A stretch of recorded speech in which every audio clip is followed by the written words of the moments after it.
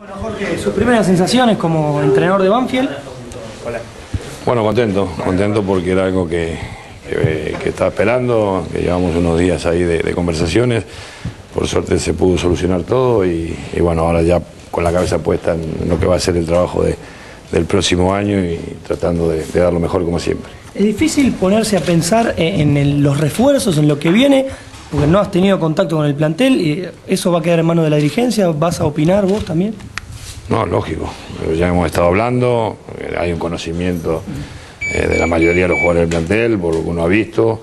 Eh, en algunos casos me ha informado y, y creemos lo que, lo que puede estar faltando. Entonces, en base a eso ya vamos a empezar a trabajar y ojalá podamos traer dos refuerzos que, que aporten lo que nosotros entendemos que pueda estar faltando. ¿Qué puestos serían más o menos? Bueno, eso lo vamos, lo vamos a ir manejando, eh, no quiero todavía entrar en detalle, recién hemos, hemos eh, asumido, así que seguramente en los próximos días van a, van a tener novedades. Jorge, ¿por qué Banfield? Porque me gustó el convencimiento, lo mismo que pasó cuando fui a Godoy Cruz, convencimiento de los dirigentes de que yo era la persona que ellos creían capaz para hacerse cargo del equipo, porque considero que hay buenos jugadores como para hacer un muy buen trabajo y porque es un club serio. ¿A qué le vas a tener que apuntar para eh, levantar este equipo, más teniendo en cuenta que está comprometido con lo que es el tema de- del promedio? No, vamos a ver, digo, vamos a ver, vamos a ir conociéndonos poco a poco eh, con el trabajo y bueno, ya veremos qué es lo que entendemos que, que pueda estar fallando, que haya fallado, ¿no? Eh, Por algo Banfield terminó la posición que terminó, algo quiere decir que no funcionó y bueno, trataremos de encontrar rápido el- el porqué y, y buscar la solución lo, más, lo antes posible. ¿Esperabas tan rápido eh, una nueva oportunidad en el fútbol argentino, habiéndote desvinculado hace poquito de Godoy Cruz y tan rápido que, que surja esta posibilidad? No, digo no porque no tenía pensado absolutamente nada, no había hablado absolutamente con nadie hasta que me desvinculé de Godoy Cruz. Pero bueno, eh, vino el interés de Banfield, me puso muy contento porque lo considero un equipo importante en el fútbol argentino.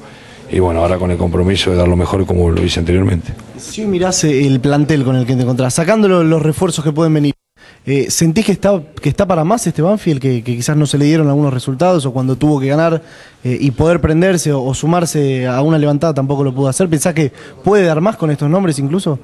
Sí, yo creo que sí, creo que sí, estoy convencido que sí. Yo a este equipo lo vi jugar partidos muy bien y perder.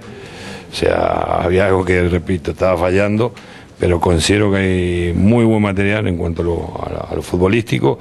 Eh, tengo muy buena referencia del plantel y me tengo fe como para que con el mismo plantel que hay revertir este momento y si podemos reforzarnos yo creo que eh, de hacer una muy buena campaña. Creo que tuviste posibilidad de estar en el predio hace algunas horas viendo el lugar donde van a trabajar. ¿Qué te pareció? No, muy lindo, muy lindo, muy tranquilo, eh, muy, muy acogedor. tener la concentración ahí creo que es ideal. eh, yo prefiero mucho más una concentración de este tipo que un hotel. El hotel generalmente es muy difícil poder armar un grupo, que el jugador esté en contacto permanente. eh, para eso son las concentraciones y creo que Banfield tiene todo eso. Entonces se puede trabajar con, con tranquilidad y, y tener al jugador muy metido en lo que nosotros pretendemos. ¿Cómo tiene planificada la pretemporada? Bueno, la pretemporada ya estaba un poco, un poco ya, armada. Vamos a comenzar el día 5 y vamos a estar hasta el 8 acá en Buenos Aires, más que nada evaluando el plantel, la parte física, la parte médica. Y el 8 estamos viajando hacia, hacia Mar del Plata hasta el día 20. Y bueno, ya nos juntaremos con, con los dirigentes a planificar un poco lo que va a ser el partido amistoso y, y- y después cuando estemos regresando a Buenos Aires. Jorge, antes de la salida de Ricardo se hablaba de, de dos refuerzos creativos, dos volantes ofensivos. En tu cabeza pasa por darle la confianza a De Sousa, a un jugador que conoces, y tratar de recuperarlo, porque él todavía no ha podido demostrar claramente lo buen jugador que fue en Uruguay.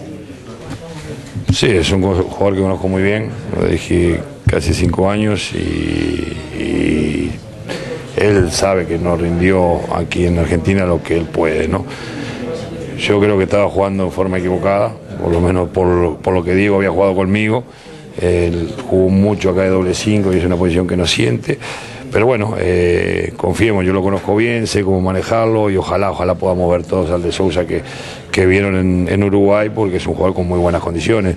Pero no solamente pe- pensamos en él, yo creo que hay muy buenos jugadores que por ahí este año no tuvieron el mejor rendimiento, que ya han demostrado muy buenas condiciones, así que vamos a apelar a, a que todo el plantel esté en perfectas condiciones y pueda rendir en, la forma que, todos esperamos.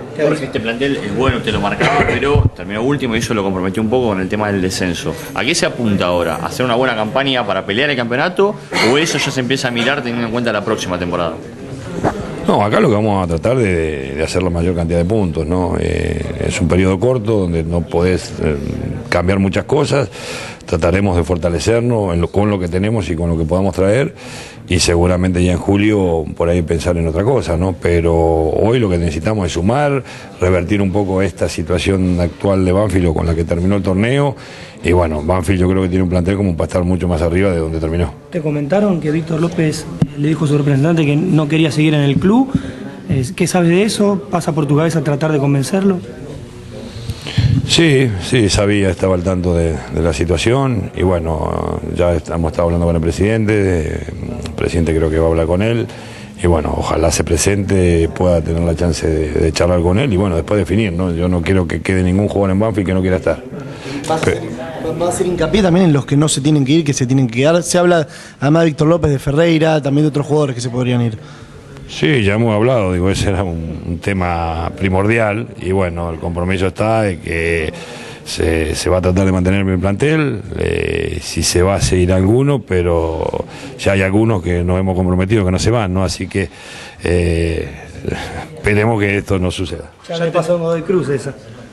Sí, es difícil, es difícil porque yo entiendo, hay momentos que por más que uno quiera mm, determinadas cosas, es muy difícil poder retenerlos, ¿no? Aparte de uno muchas veces piensa en el futbolista y hay oportunidades en el fútbol que no se pueden dejar escapar. Así que, pero bueno, ojalá podamos por lo menos estos seis meses tratar de mantener eh, la mayoría del plantel y, como dije, traer dos refuerzos ya con jugadores de jerarquía como para que potencien lo que tenemos. ¿Se puede llegar a ver eh, alguno que has tenido, que has dirigido en Godoy Cruz? ¿Vas a intentar traerte alguno?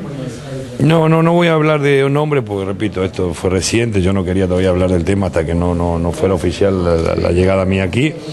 Ya hemos estado hablando con los dirigentes sobre algunos, algunas situaciones puntuales y, a partir de ahora, bueno, nos pondremos en campaña para poder traer a aquellos dos jugadores que entendamos que son necesarios. Del plantel actual, eh, ¿tenés definido más o menos a quiénes vas a llevar a Mar del Plata o en estos tres días vas a tomarte el trabajo de eh, evaluarlos y definir eh, quiénes suenan al micro y no?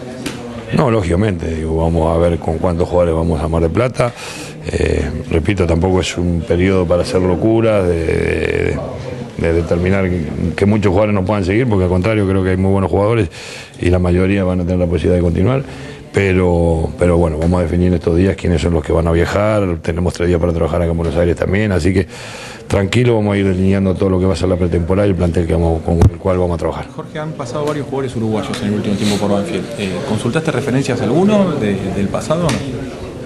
Sí, hay mucha gente que uno, que uno conoce que, que ha estado en Banfield o que tiene mucho conocimiento sobre el club, ¿no? Y he hablado con mucha gente. Y bueno, las referencias son las mejores en cuanto al club, en cuanto a la dirigencia. Y el plantel, ya te repito, yo lo conozco, pero seguramente voy a, voy a, informarme más y tener un mayor conocimiento de, lo, de la situación de cada uno de ellos. Jorge, en esta nueva etapa de Banfield va a estar trabajando con el mismo cuerpo técnico que lo hizo en. Sí, sí, sí, es el mismo cuerpo técnico. Yo vengo trabajando ya hace muchos años. Fue a Arabia, dirigió en Uruguay conmigo. O sea, vengo con dos ayudantes y el prepor físico y, bueno, es un grupo de trabajo con el cual eh, tenemos una gran confianza, un gran conocimiento y son personas que yo las considero muy capaces. ¿El vínculo con el club es por un año, por una temporada? Sí, un año con opción de seis meses más, ¿no? O sea, eh, la idea es uno y bueno, veremos si estamos conformes y contentos las dos partes, seguramente podremos seguir. Hablando de las últimas horas con el presidente Carlos Portel, dijo que lo que impactó eh, más que nada en la charla que tuvo con usted fue el proyecto deportivo. ¿Eso es justamente lo que va a tratar de resaltar acá en, este, en esta institución? Sí, los proyectos siempre son respaldados con resultados y nosotros hoy lo que más necesitamos son resultados y bueno, después que las cosas empiecen a rodar de la manera que uno pretende, seguramente iremos apuntalando otras cosas.